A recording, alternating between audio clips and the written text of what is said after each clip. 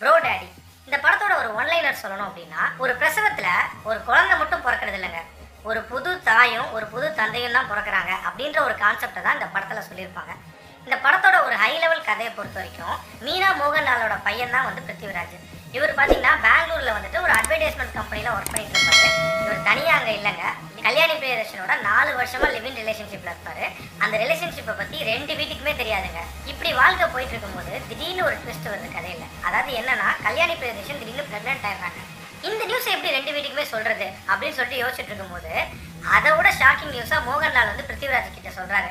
அதாவது மீனாவும் பிரெக்னெண்டா இருக்காங்க. ஒரே நேரத்துல மாமியாரும் பிரெக்னென்ட் மருமகளும் பிரெக்னென்ட் அப்படின்ற மாதிரி தான் கதை போகுது. இதுக்கப்புறம் கதையில் நடக்கக்கூடிய சுவாரஸ்யமான சம்பவங்கள் தான் இந்த படமே. பாசிட்டிவ்ஸை பொறுத்த வரைக்கும் எனக்கு இந்த படத்தோட மிகப்பெரிய பாசிட்டிவாக படுறது இந்த படத்தோட ஹியூமர் தாங்க. அதாவது ஒரு காமெடி ட்ராமா மூவின்னு நீங்கள் எடுத்துக்கிட்டிங்கன்னா அந்த படம் ஓடுறதும் ஓடாததும் அதில் இருக்கிற அந்த ஹியூமர் கண்டென்ட்டை பொறுத்து தான் அந்த ஹியூமர் கண்டென்ட் கிளிக் ஆனால் தான் அந்த படம் ஓடும் அப்படின்னு சொல்லலாம். இந்த படத்தை பொறுத்த வரைக்கும் ஹியூமர் கண்டென்ட் அப்படின்றது வந்து வேற லெவலில் கிளிக் ஆயிருக்கு அப்படின்னு சொல்லலாம். இன்ஃபேக்ட் இந்த படம் முழுக்கவே வந்துட்டு ஒரு ஃபன் ரைட் மாதிரி தான் இருக்கும். ஒரு சில எலிமெண்ட்ஸ் மட்டும் தான் வந்துட்டு சீரியஸாக அமைச்சிருப்பாங்க அப்படின்னு சொல்லலாம். அடுத்த பாசிட்டிவ் அந்த படத்தில் பார்க்குறது என்னென்னா ஒரு லைட் ஹார்ட்டட் மூவிங்க அது. அதாவது தேவையில்லாத சென்டிமெண்ட்ஸோ எமோஷன்ஸோ இல்லை ஃபைட்டோ ஆக்ஷனோ இந்த மாதிரியான விஷயங்கள்லாம் இருக்கவே இருக்காது. ஒரு ஜாலியான மூவி பார்க்குற ஒரு ஃபீல் தான் இருக்கும். இன்ஃபேக்ட் இந்த படத்திலே ஒரு விதமான ஒரு பாசிட்டிவ் வைப்ஸை ஃபீல் பண்ண வச்சிருப்பாங்க அப்படின்னே சொல்லலாம். எஸ்பெஷலி நீங்கள் மோகன்லாலோட ஃபேமிலி பார்த்தீங்கன்னா சின்னவங்கலேருந்து பெரியவங்க வரைக்கும் ஒரு விதமான பாசிட்டிவ் வைப்ஸ் தான் ஸ்ப்ரெட் பண்ணுவாங்க. அதுவே இந்த படத்துக்கு வந்துட்டு ஒரு மிகப்பெரிய ப்ளஸ் அதே மாதிரி இந்த படத்தோட இன்னொரு ப்ளஸ்ஸாக நான் பார்க்குறது என்னன்னா இந்த படத்தோட ஸ்க்ரீன் பிளே தாங்க. ஒரு காமெடி ட்ராமா மூவியை இவ்வளோ எங்கேஜிங்காக கொண்டு போக முடியுமா? அப்படின்ற அந்த கேள்விக்கு ஒரு அருமையான விடை இந்த ஸ்க்ரீன் பிளேல சொல்லியிருக்காங்க அப்படின்னு சொல்லலாம். அதுலயும் பாத்தீங்கன்னா ஒரு டிஃப்ரெண்டான ஸ்டைல் ட்ரை பண்ணியிருப்பாங்க. அதாவது ஒரு சின்ன விஷயத்த முன்னாடி சொல்லி அதுக்கு பின்னாடி ஒரு பெரிய விஷயத்த கனெக்ட் பண்ணி விடுறது அப்படின்ற ஒரு ஸ்டைல் இருக்குல்ல. அந்த ஸ்டைல் தான் இதில் வந்து ஃபாலோ பண்ணியிருப்பாங்க. நிறைய இடங்கள்ல வந்துட்டு அது ஒர்க் அவுட் ஆயிருக்கும். ஃபார் எக்ஸாம்பிள் வந்துட்டு கல்யாணி பிரியதர்ஷனோட ப்ரெக்னன்சியை ரிவீல் பண்ணுறதா இருக்கட்டும்.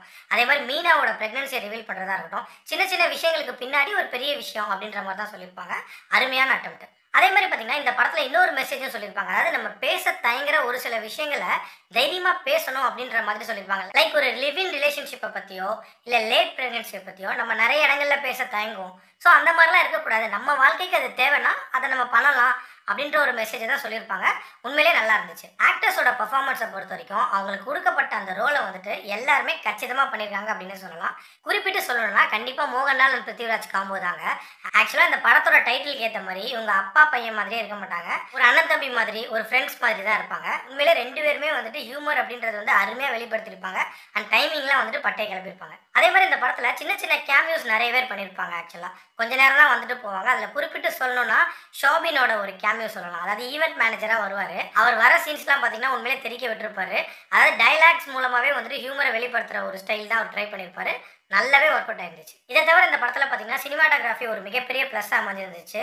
ஒரு ரிச் லுக் கொடுத்துச்சு அப்படின்னே சொல்லலாம். ஓவரால் பார்த்தீங்கன்னா ஒரு கம்ப்ளீட் என்டர்டைன்மெண்ட் பேக்கேஜாக இருந்துச்சு. நெகட்டிவ்ஸை பொறுத்த வரைக்கும் ஒரு சில நெகட்டிவ்ஸ் தான். அதாவது இந்த படத்தோட கதைக்களம் அப்படின்றது வந்து டூ தௌசண்ட் எயிட்டீனில் ரிலீஸ் ஆன பாதே ஹோ அப்படின்ற இந்தி படத்தோட சாயல் கொஞ்சம் இருக்கும் அப்படின்னே சொல்லலாம். ஸ்டோரி லைனில் தான் அந்த சாயல் இருக்கும் அப்படின்னு சொல்லலாம். பட் மேக்கிங் வைஸ் வந்து கம்ப்ளீட்லி இந்த படம் டிஃப்ரெண்ட்டு ஸோ அது ஒரு சின்ன நெகட்டிவாக பட்டுச்சு.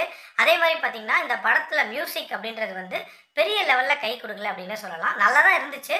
பட் இந்த படத்தை என்ஹான்ஸ் பண்ணி விடுற மாதிரி அமையலை அப்படின்னு சொல்லலாம். இன்ஃபேக்ட் ரெண்டு சாங்ஸ் பார்த்தீங்கன்னா இந்த படத்துக்கு வந்துட்டு ஒரு ஸ்பீட் பிரேக்கர் மாதிரி தான் அமைஞ்சிருந்துச்சு அப்படின்னு சொல்லலாம்.